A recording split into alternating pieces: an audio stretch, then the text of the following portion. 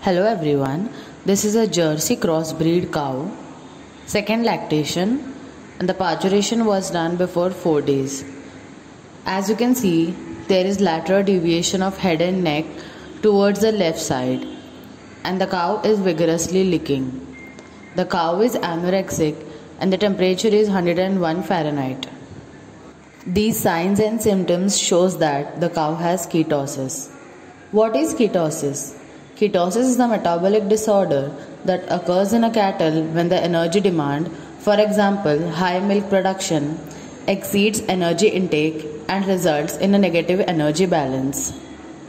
Symptoms of ketosis reduced milk yield, weight loss, reduced appetite, dull coat, acetone that is pear drop smell of breath or milk Cow is showing nervous signs such as excess salivation, licking, aggression, etc.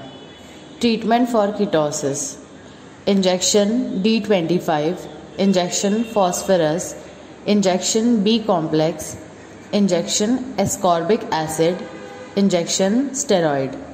Propylene glycol is administered orally at doses of up to 200 ml twice a day for 4 days.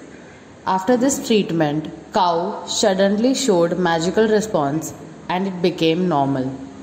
The best way to prevent ketosis in cow is to be provided with adequate amount of energy-rich concentrate feed according to the milk yield. Sodium bicarbonate may be incorporated in feed to prevent development of acidosis due to excess concentration feeding.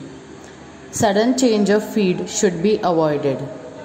Probiotics, vitamins, and mineral supplements should be included in the feed during the entire peak lactation period in order to improve feed utilization and metabolism.